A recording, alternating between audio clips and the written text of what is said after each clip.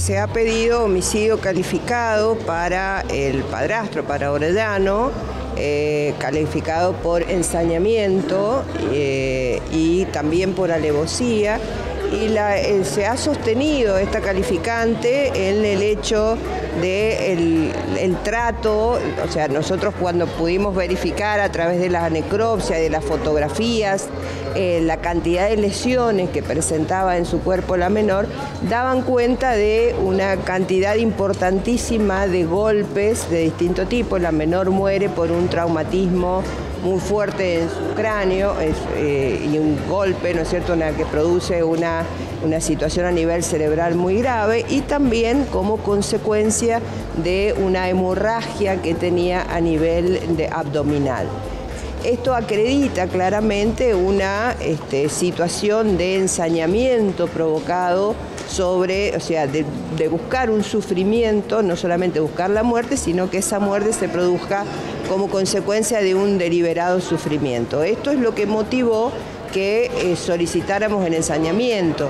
Aquí se dan, a criterio de, la Fiscalía, dos, dos supuestos, tanto la alevosía, porque entendemos que se ha aprovechado la situación de inferioridad de la menor, como el ensañamiento a esta cantidad deliberada de golpes producidos sobre el cuerpo de la pequeña. Para la mamá lo que eh, hemos solicitado es el homicidio calificado, ¿no es cierto?,